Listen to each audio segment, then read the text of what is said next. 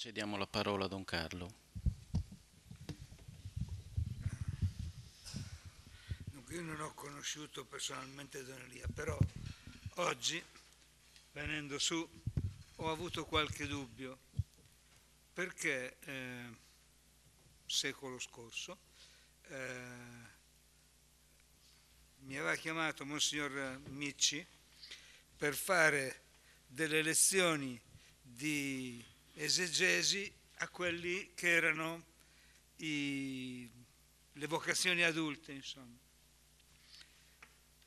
E eh, a furia di guardare la faccia di Don Elia nelle fotografie, qualcosa ha cominciato a galleggiare dalla mia memoria e ho l'impressione che fosse un tizio che se ne stava seduto alla mia destra e ogni tanto sonnecchiava.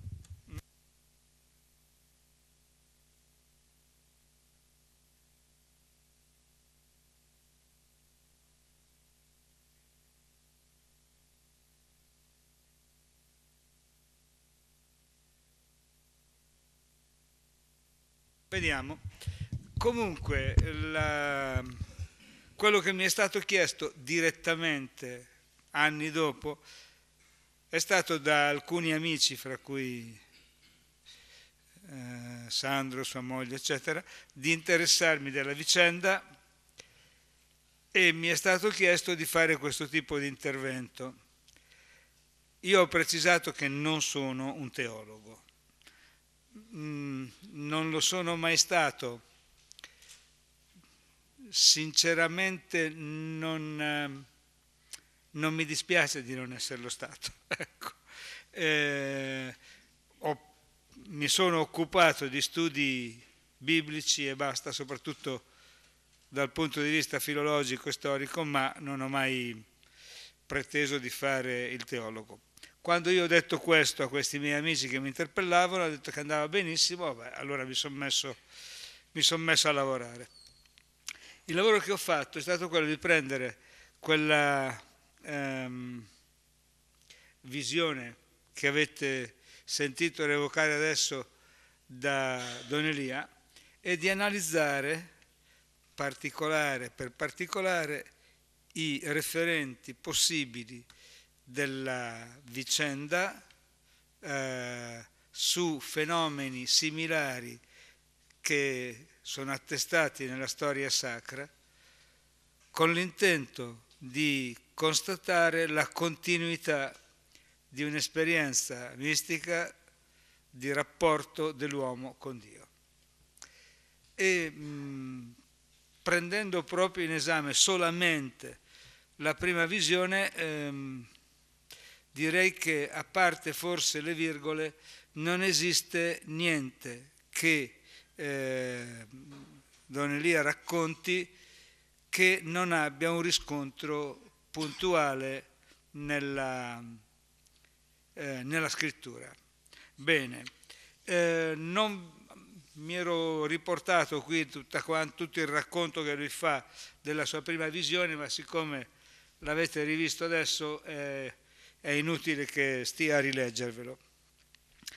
Analizziamo quindi i particolari. Primo particolare, una nube bianchissima.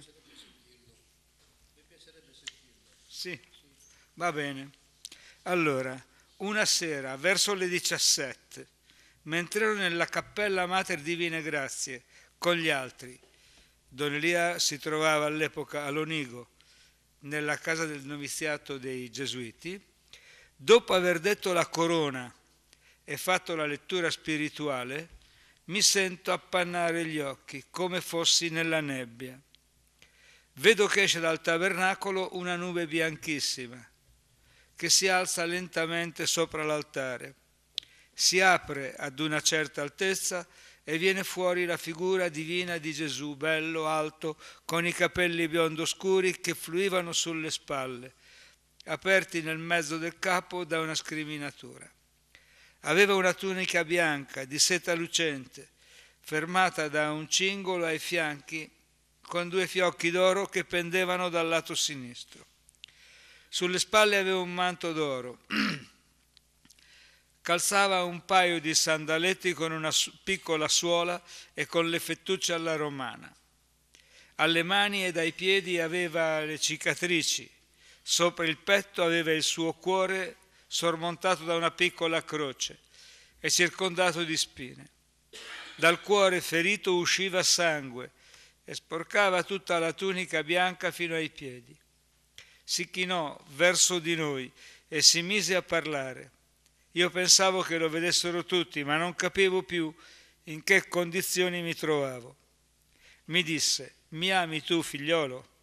Sì, Gesù, che ti amo. Questa espressione sì, Gesù, che ti amo, questo è bergamasco a livello chimicamente puro. Ci siamo? Va bene? Proprio come espressione. Bene eh, allora tu ama il tuo prossimo con lo stesso amore con cui ami me. Sì, Gesù, lo farò. Toccando col suo indice la ferita del cuore, mi mandò un raggio di luce così potente che penetrò nella carne, passando attraverso la veste talare, la camicia e la maglia. La nube si chiuse, Gesù disparve e io sentivo un calore in tutto il corpo, una gioia, una pace. Mi accorsi che andava scomparendo quell'appannamento che avevo sugli occhi e guardai intorno a me. Non c'era più nessuno in cappella.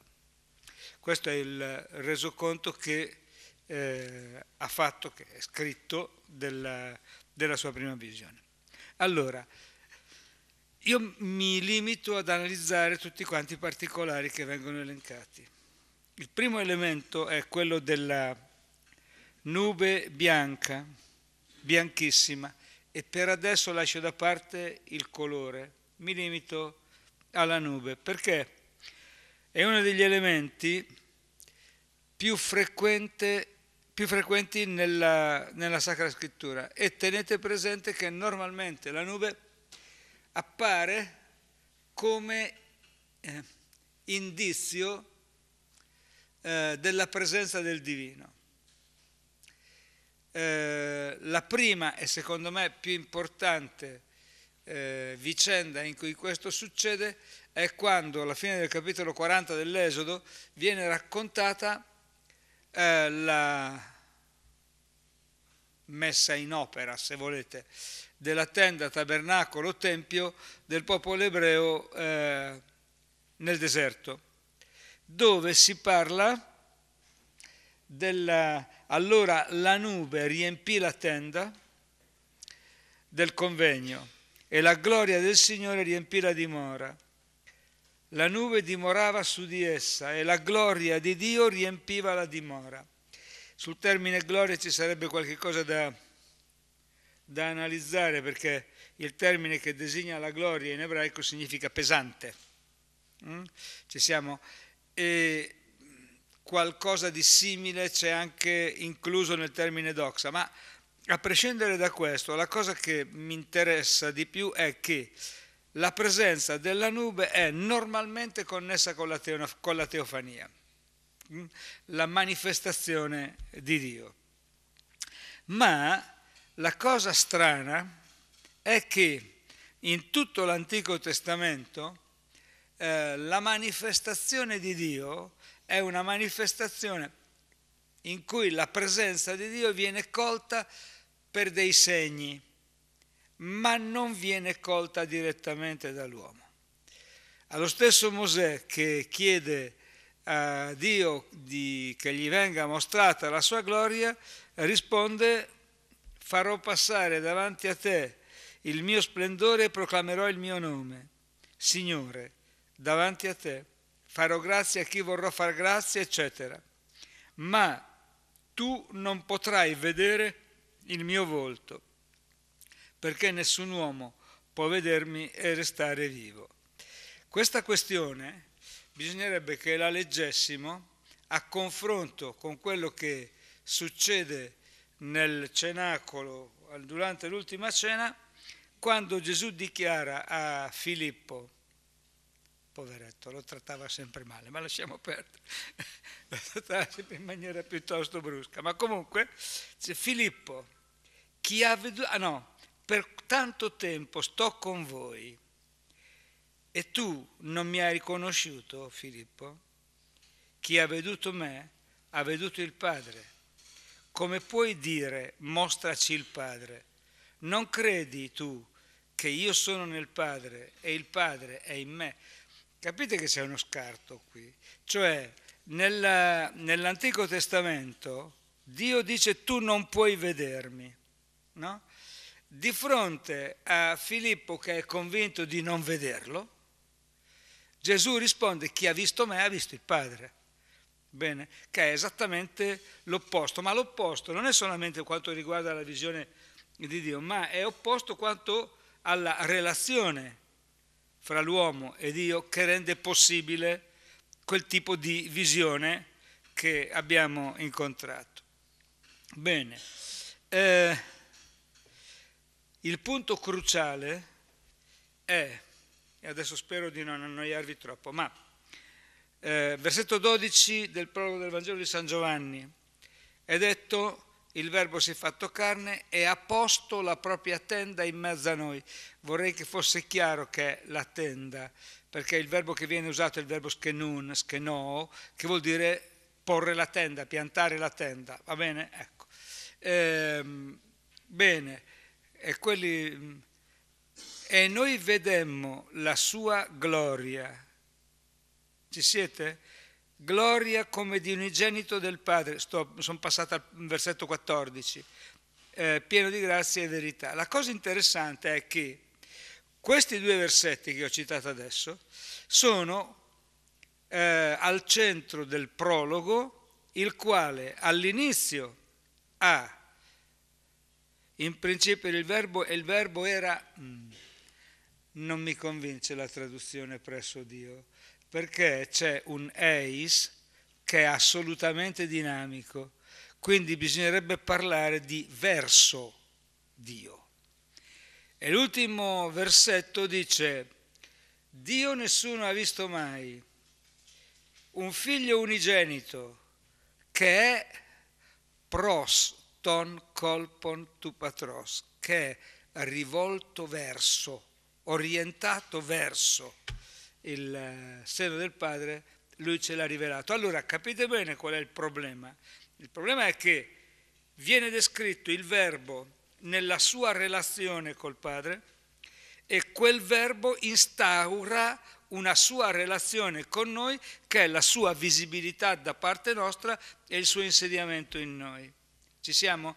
Allora, eh, questa cosa qui, io credo che noi dobbiamo rammentarla regolarmente quando leggiamo la nube, perché eh, è segno veterotestamentario eh, della teofania, ma è completezza della teofania nel Nuovo Testamento. Pensate eh, alla trasfigurazione, dove si parla eh, della nube aprendosi la quale eh, in, vedono Mosè, Elia e Gesù che parlano fra di loro. Mm?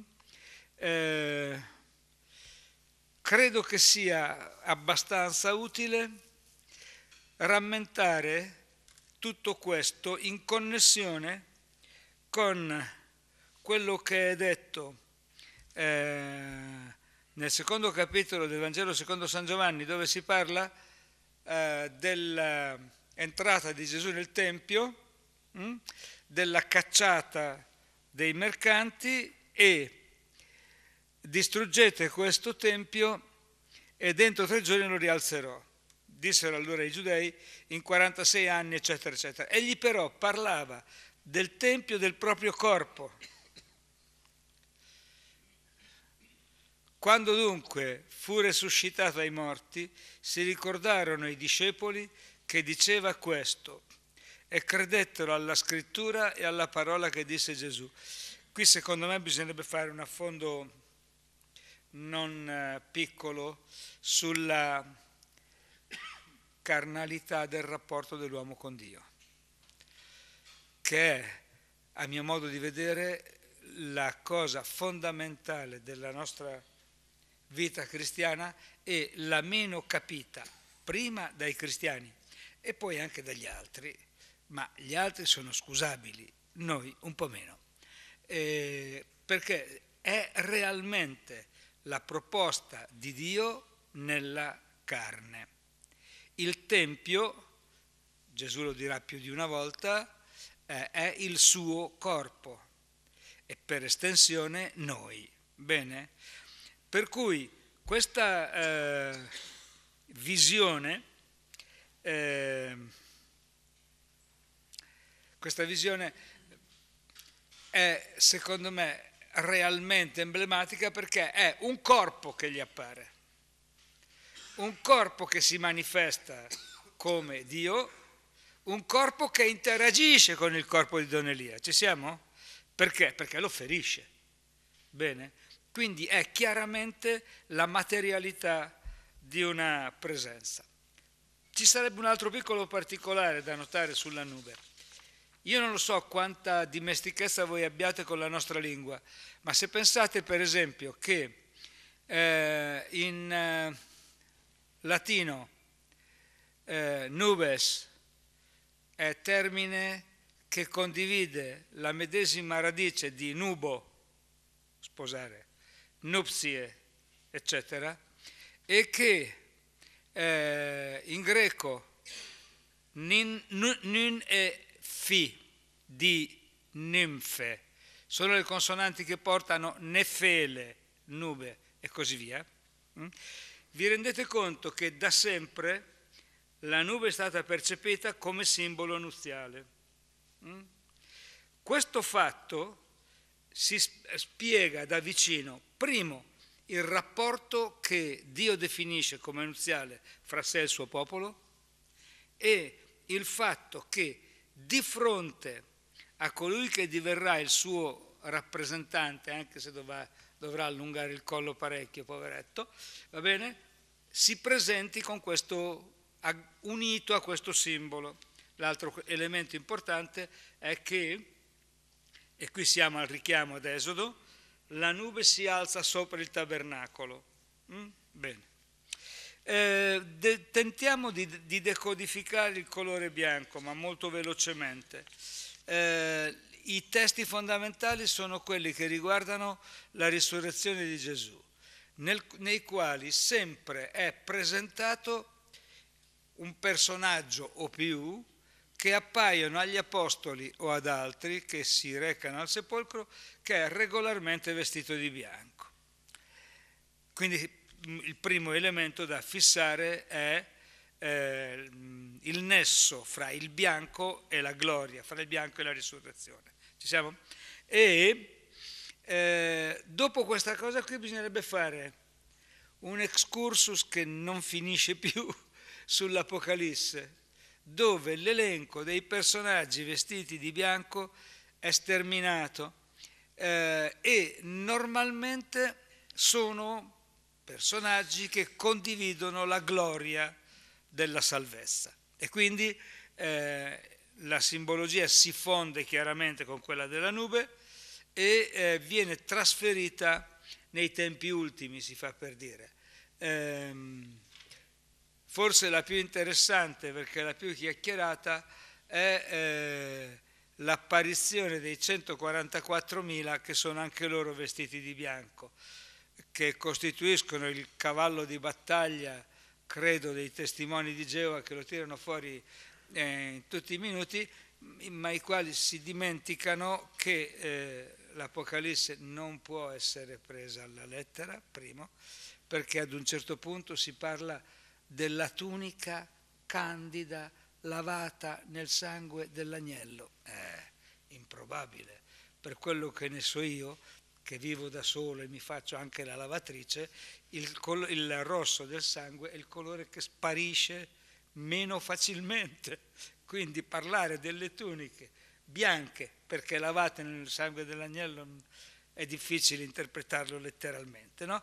Ma anche il 144.000 non può essere interpretato così perché è eh, 12 per 12 per 1000 e eh, 12 sono le tribù di Israele e 12 i, gli apostoli e mille è il numero della storia guidata da Dio, quindi forse il significato è un po' diverso, però eh, questi qui sono comunque vestiti di bianco, perché condividono la, la gloria dell'agnello che li guida. Poi mh, bisognerebbe passare a questo punto eh, alla tunica che viene irrorata di sangue. Eh, vorrei citarvi un testo che è poco noto dell'Apocalisse. Vidi il cielo aperto ed ecco un cavallo bianco, notate i colori, e colui che siedeva su di esso era chiamato fedele e verace, e con giustizia giudica e combatte. Poi notate, indossa una tunica imbevuta di sangue ed il nome con cui è stato chiamato è la parola di Dio.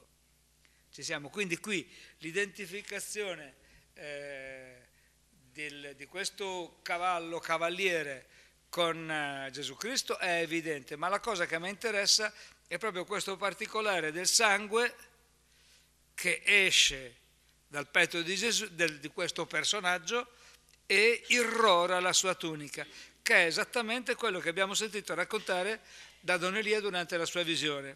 Bene, se mi consentite, credo di non essere irriverente, Don Elia queste cose probabilmente non le ha mai lette. È chiaro?